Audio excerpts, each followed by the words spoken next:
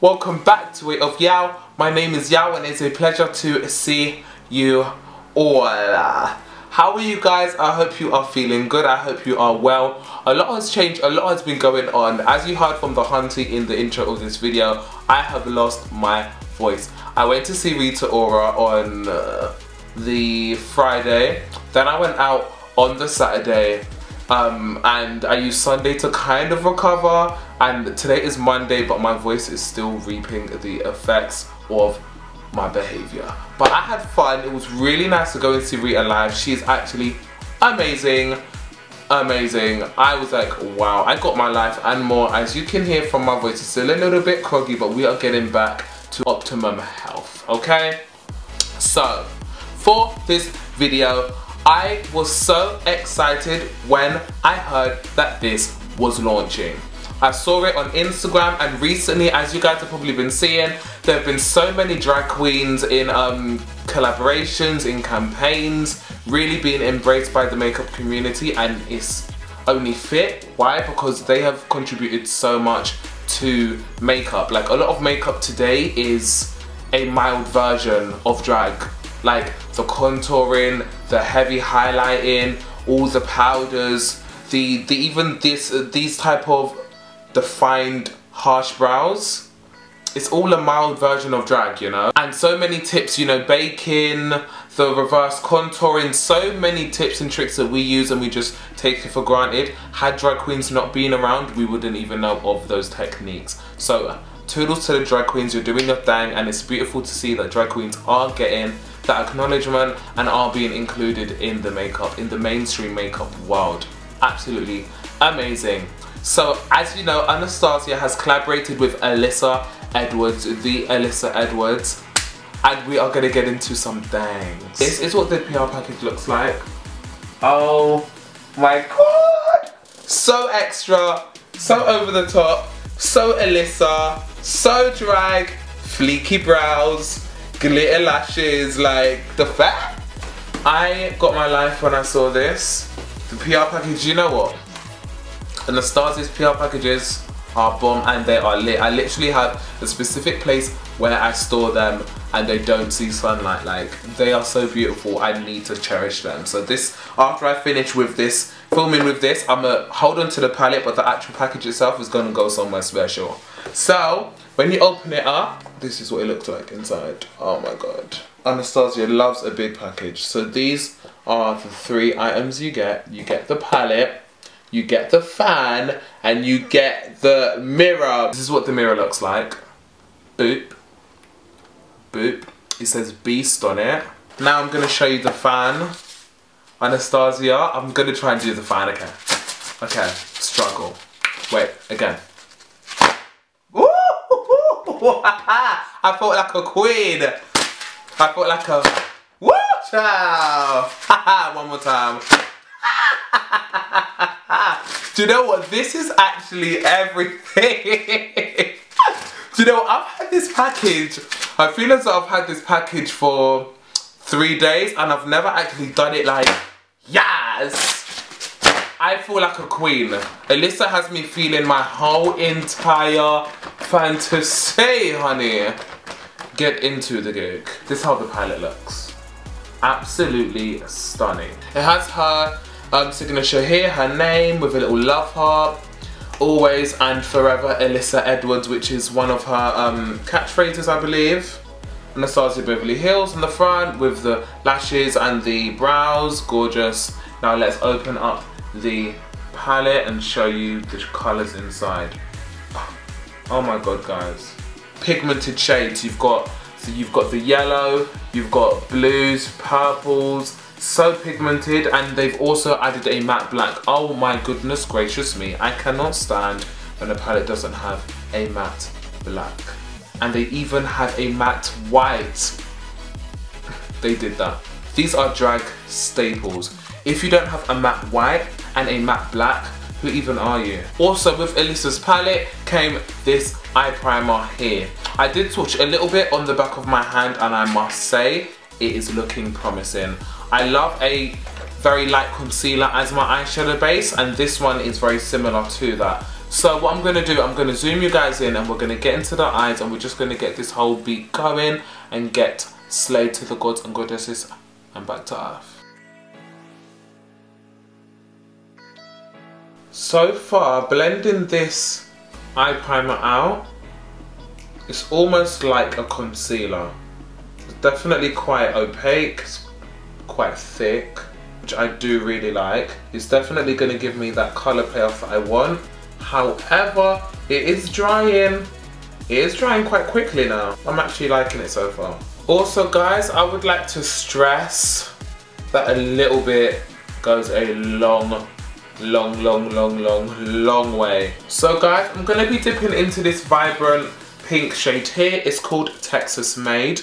And what I'm gonna do is I'm gonna kind of map out my crease. I've noticed that whenever I have an idea in my mind and I stick to it, it always comes up looking good. Whereas when I end up going against that, it can sometimes go a little bit sour. Not all the time, but sometimes. Yeah, we happy with that? Just gonna go ahead and replicate that on the other side because girl, we need to be symmetrical. I'll be back. So now that we have that pigment packed on, I'm gonna take a slightly larger brush and I'm gonna diffuse the edges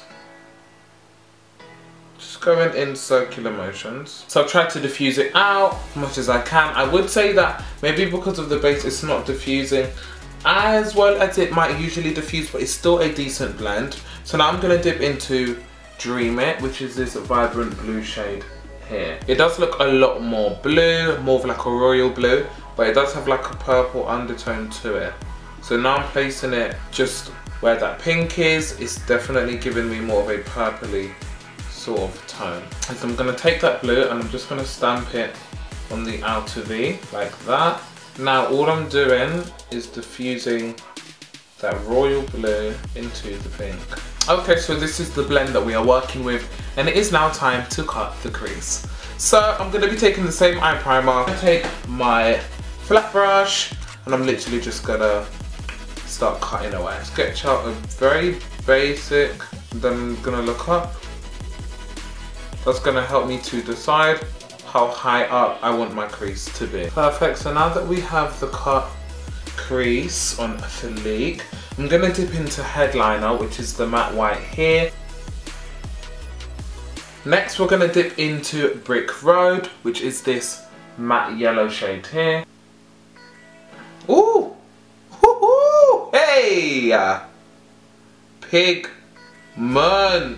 It's not often you find a pigmented yellow. Before blending out the last shade, I need to quickly go ahead and blend out the edge of this eye primer. It has dried down and it's not blending out too easily. So now we're gonna dip back into Texas Made, which is the vibrant pink shade. We're gonna pop that on the outer part. I'm gonna go ahead and blend out the edges of the pink into the blue. Just in a little bit of that blue on the brush. So this is how the eyes are looking right now.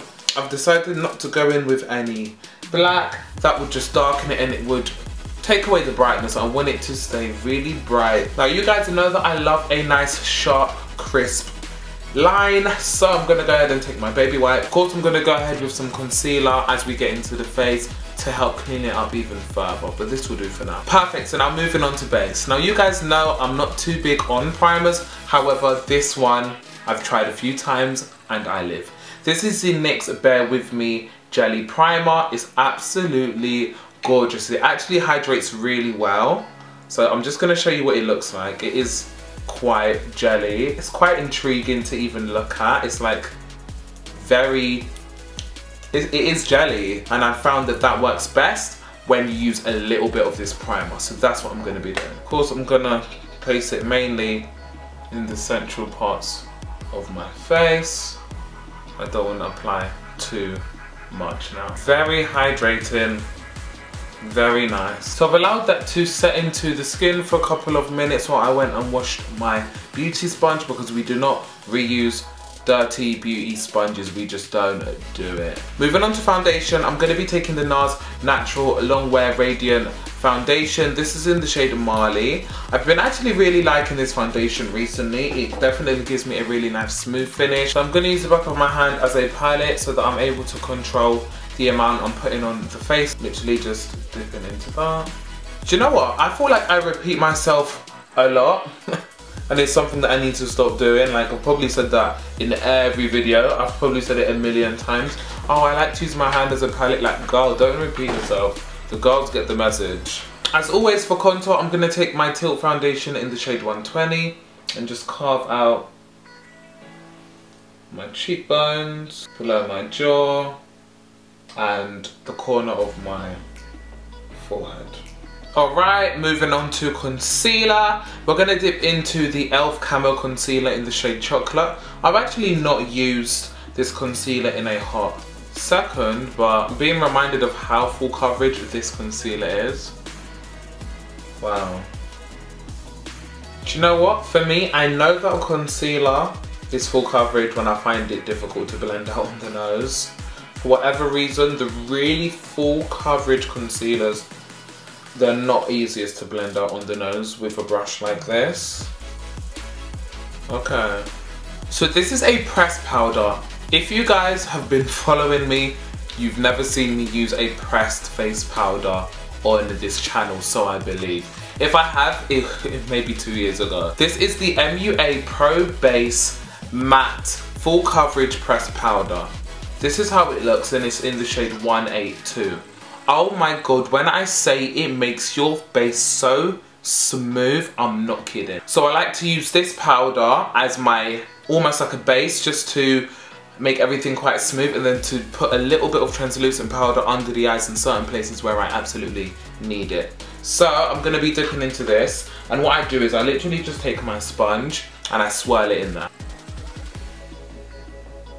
so smooth. It's literally like, it looks like butter. I do think that I need to try in another shade because it might be making my highlighted areas a little bit darker than they should be. And with this powder, I really feel like you can build it up before it starts to look cakey. You can really build up this powder. It just looks so beautiful. Now I'm gonna go into my translucent powder. This is the one from um, Ben Nye. I just put in any lid to that the traffic today is mad. I put it in any lid so that it just makes it easier to use. Just gonna make sure those areas are really set. So as you can see, your girl is back and the rest of the face is set. I went and set the perimeters of the face with my Ben Nye Translucent Powder in the shade Ebony and then I used a shade from the BPerfect X Stacey Marie Carnival palette almost as like a bronzer uh, contour sort of situation. Now we're gonna go ahead and move on and finish off the eyes. So what am I gonna do? I'm gonna do my inner corners. You all know that I live for a nice inner corner and as we went for a white shadow I'm going to go and match that up with a white liner for the inner corner. So I'm going to take my white liner from Stargazer and I'm literally just going to slay those inner corners. So now that the inner corners are slayed it's time to move on to lashes. These are the VVS lashes in the style Empress. I haven't tried lashes from this brand before but I'm really excited to see how it looks on the eye. I'm gonna apply these off camera because applying lashes on camera is it's a task and we ain't trying to go through no tasks, okay? So, I'll be back in a moment. So this is how the lashes are looking. They're actually looking super cute. I'm actually really liking the fluffiness that it's giving me. It doesn't look too dispersed on the eye, which is quite nice. It's definitely a nice addition to the look. So now we're gonna move on to highlight. So for highlighter, I'm gonna be taking the Huda Beauty 3D highlighter palette and we are gonna be dipping, ooh, these shades I kind of dropped this palette the other day so the shades want to fall out so I need to um, super glue them back in but it's this shade here that I'm going to be dipping into. It looks more pinky on camera, um, even in person, but it definitely has like a golden sheen to it, a golden reflex. So I'm going to be dipping into that. And of course just slaying the high points of the face as we do on a regular, like what is new sis. Are you guys seeing that? We are actually glowing. I really like the way that looks on the skin. I want to talk a little bit about, oh, it's such a habit for me now. Whenever something happens unexpected, I'm like, oh, all the time. I'm like, oh, I'm happy with this bit. What's having a look? What's having a look? All right, it's time for some, um, it's time for lips. For a second, I was thinking to do a white liner for my cupid's bow as I do with some of my looks but Instead, I'm gonna go in with um, highlighter. And now I'm going to use some matte liquid lipsticks from Anastasia Beverly Hills. I definitely want to go in with this one because it's to match the eye colour. I've decided these are the two I'm to use. And I might add a little bit of like a shimmer on top, let's see. So this is in the shade Nocturnal. We're to use this on the outermost part of the lip. Just blending the two together. Okay, now the face is more or less complete, thank God. It's time to set the face. I'm to use the Dewy Setting Spray from Anastasia Beverly Hills. Mine is running out, it's down to here. Your girl needs a top up, but let's go ahead and get into it. Just gonna, boom. So as you can see, we have completed the look. I'm feeling my Diva Fantasy got my fan in hand, lip ombre, snatched, eye pigmented to the gods and goddesses and back to earth. I'm absolutely living for this look. I love this collection. The PR package, amazing. The fan, amazing. The um, actual palette itself, gorgeous. Very pigmented shades, as you can see, shows up really nicely on the eye absolutely gorgeous. I kind of already thought to myself, this is going to be a collaboration that I love. It's probably one of the best um, makeup collaborations I've actually tried. Um, and the shades, the blendability, I really like the palette, point blank period. And one thing that I was actually quite surprised about, I'm not gonna lie, this eye primer is absolutely amazing. I'm definitely gonna be using this all the time for my eyeshadow base. It gives me a um, it doesn't dry down too much to the point where I can't pack colours down. They still pack on really, really, really nicely. Um, it's really pigmented, very light, um, which is what I like, so that the colours show up true to colour as much as they can.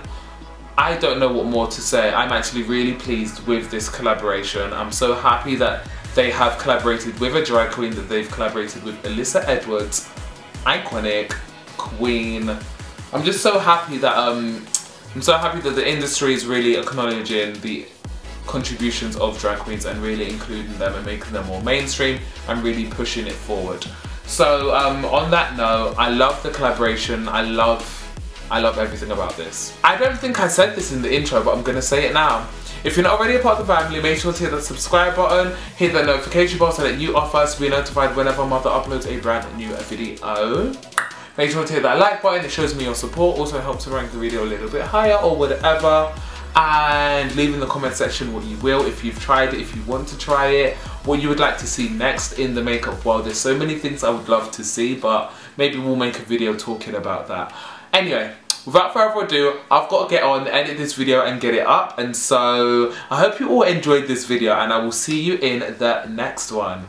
Bye guys.